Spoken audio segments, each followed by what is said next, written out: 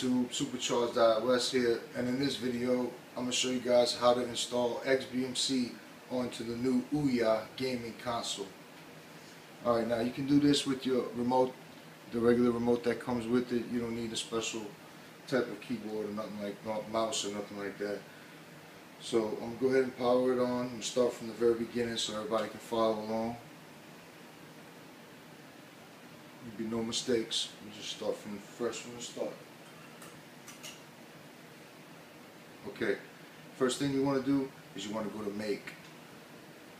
And now you want to go to browser. These icons are only here because I've already done the process. But you just go to browser, that'll be there. Select it, the O button. And when this menu comes up, you might need to do however you do to get to there. You got to get to this right here. So what I usually do is I usually click on one of the links and then when it goes to change I just use the mouse pad of my remote control to navigate the mouse upward. And I just click in the direction where the page is loading to get the mouse to get the uh, arrow where I need it to be. Alright so you just tap again like that and then you just backspace all the way to the beginning. And you want to type in xbmc dot org forward slash downloads. Oh I'm sorry just download. Xbmc dot org forward slash download. Just like that. When you get to this page I'll, of course I'll put a link in the description and if you're on this device you can just click on the link on this on the Ouya gaming console and it's going to bring you to it. This one right here you just click on it and it'll say download started. Now after you click on it you have to wait on this page for maybe a minute or two. Depending on your internet connection if I was you I would just wait maybe three minutes just to be sure because you need to download that before you back all the way out of your browser. So just if you want to go and do something else on the browser that's fine. Just don't leave and go and, and close the web browser entirely for a few minutes. Alright, so now we're back about three minutes later. What you need to do is you need to go and take your remote control, press that button, and that'll bring you back off of that page to this page. And once you get to this page again, to go and find XBMC, go to Manage, System, Advanced, and then scroll down to storage. Select that one with the O button. That button right there, that's the button you select with. And you go down to downloads right there. Select that one and your downloads will be right here.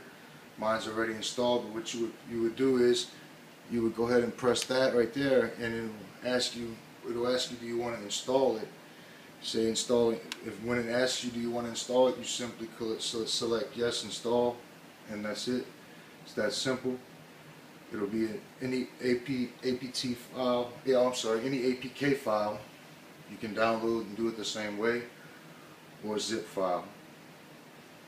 Alright so once you've done that this process here doesn't take very long.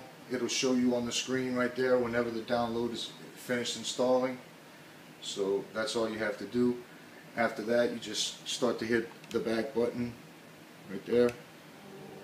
Keep going back to the very beginning and then navigate down to make. And then right there under make you should see XBMC. And I'm going to say that XBMC as you can see starts up very fast. This Ouya console is very powerful. This quad core processor pushes XBMC like nothing I've seen I'm very impressed with this device. Look at that. Works great, right? and it works wonderful. This is in full HD 1080p. This is just real quick. I'm just going to start something up and show you guys how good and fast this really works. Go ahead and set the the view up to where I can see what the episodes are about and when they air because this will be the latest, most up-to-date stuff.